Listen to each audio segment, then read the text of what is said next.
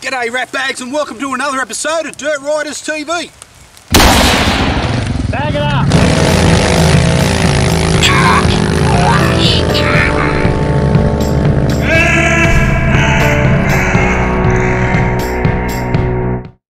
In this episode we're here at Jimna Base Camp and they're having a DR weekend full of Suzukis and lots of other bikes. After unloading the ute and pitching a tent big enough to fit 50 gypsies in, I unleashed the so-called Angry Bee and took a quick trip around the campsite. Then it was time to contemplate how one man could make a difference. Perhaps leap over small creek crossings with a single stall. Win the raffle with less than 10 tickets. Get as close to the fire as you can without becoming the main meal. All that and more coming up. So, Sit back and enjoy the ride. the first annual DR weekend at Jimna drew a big crowd. There was more variety in camp setups than there are in Aunt Ethel's underwear drawer. Over the entire weekend, the unofficial report was over a hundred people registered. On the main campground here, there was, by my count, over 76 bikes at one stage. The mates and the models weren't limited to DRs, it seemed like there was a steady stream of bikes flowing in and out of the campground all weekend. Even the pets were getting in on the action. A big shout out to Matt from Overlanders Motorcycle Event Support. They helped me out with a small problem.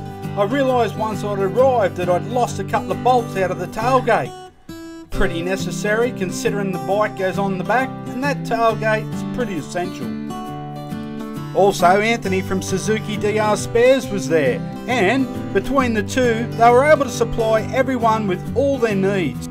It really was an essential service that many of the guys took advantage of. Thanks, fellas. So here we are, Ratbags, Jimna Base Camp, DR weekend. The first annual event, and hopefully one of many more to come. Let me take you on a quick tour of the grounds. And first of all, a big thanks to Pete and all of his crew for an excellent event. Have breakfast down here, coffee, everything you need to start the day.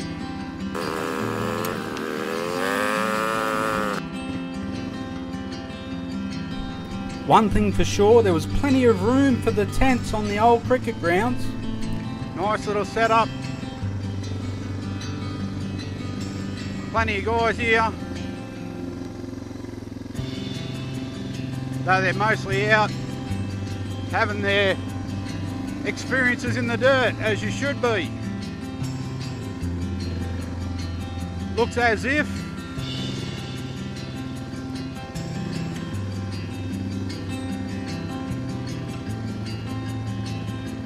that's dinner tonight.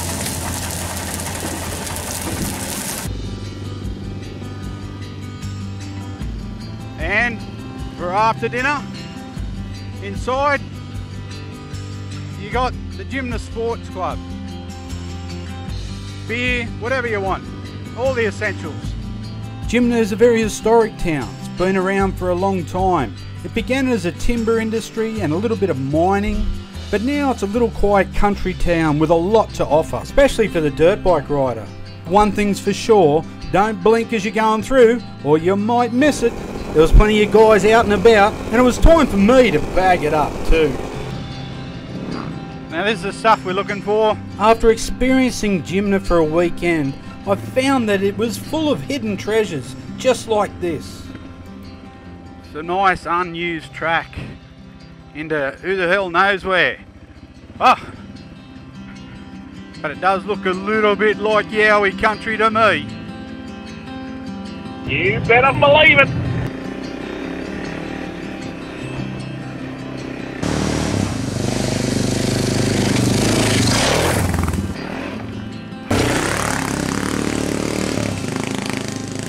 From twisting, turning, leaf littered grounds that smelt like mouldy leaves,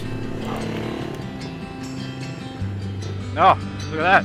to wide open spaces that have been ravaged by man's relentless need for resources. Broken right out into the clearing area. But that greed did provide a spectacular view. Road closed. But not all Jimna's secrets were open to the public. Yes. But they were there for any rat bag who was stupid enough to take on the challenge of the hill climb.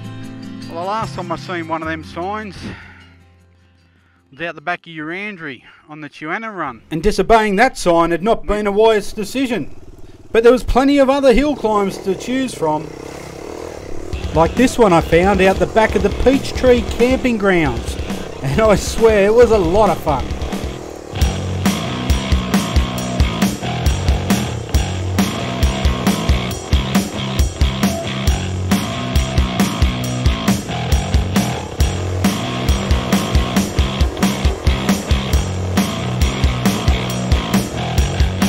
But if hill climbs aren't your thing, perhaps a few water crossings would tide you over.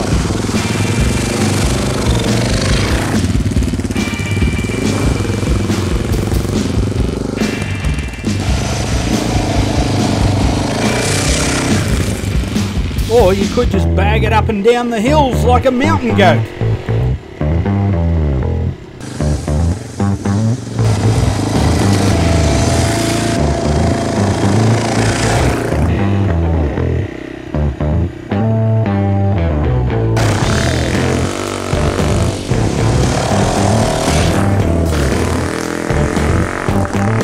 As I wanted to keep on riding, I'd heard the rumours that there was a thunderstorm coming, and I figured it was time to get inside and play. I don't know if it's just me, but shoes and socks never want to cooperate when you're in a goddamn hurry.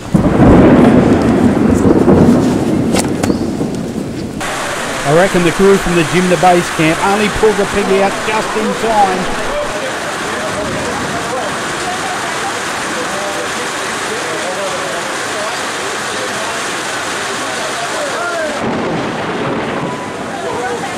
But the rain didn't dampen the spirits. Everyone was having a good old time, and food was delicious. that's fun.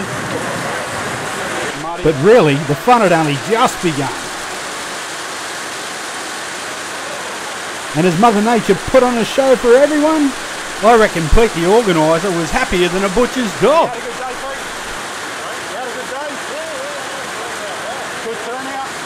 They deserved to be happy. It was an awesome event. Good on you guys. It was about this stage that some of us were wondering if it was ever going to let up. Would we be picking our tents up halfway down the creek?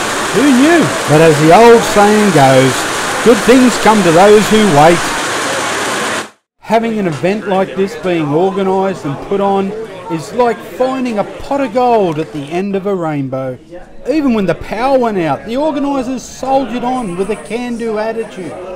And it was evident that the first ever annual DR show at Jimna Base Camp was a success. Get a haircut. Get a real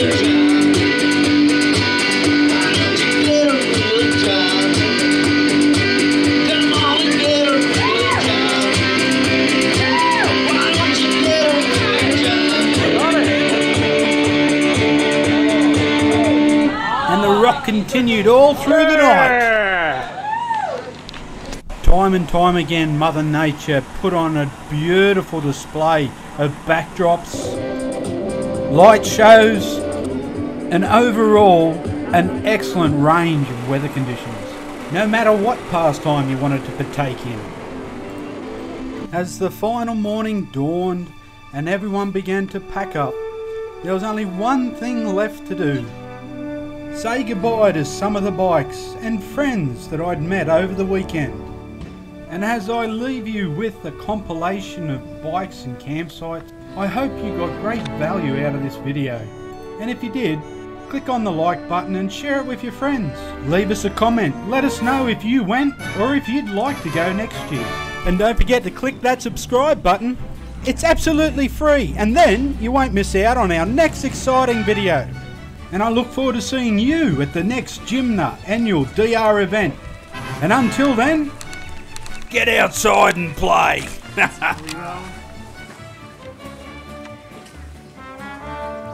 How long you had this one? Oh, they're about five, six years now. Yeah?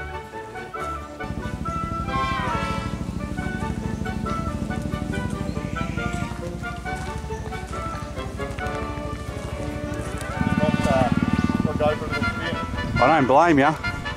What's he call this thing? Ned Kelly. What's he call this bike? Ned Kelly. Look at the front end on that.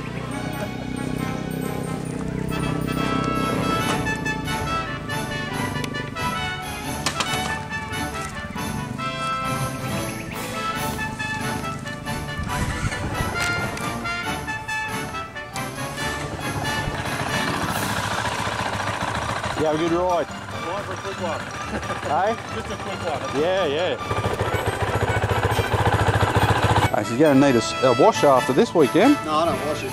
No, well, that's fair enough. This one looks like she's had a good play in the mud too. Oh, yeah. How's the old KLR go? Yeah? Nearly need a trailer behind this thing. For a few hours, Oh. four, four of us, and Yeah.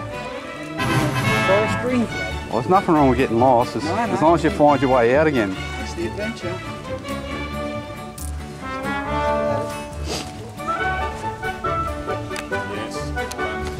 How the all 400s, how'd she fare up for the weekend? Did you alright? Uh, I'll tell you what though, it must have been the rain that's cleaned it off. It looks a bit too clean.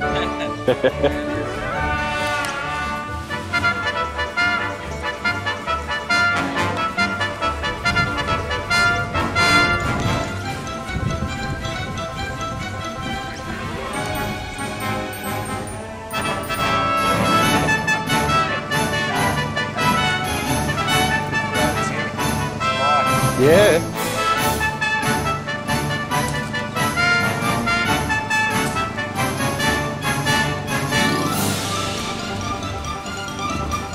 Morning.